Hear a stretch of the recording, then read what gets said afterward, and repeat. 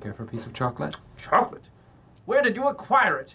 That is a delicacy in the Amazon, but it has not yet been imported to the United States.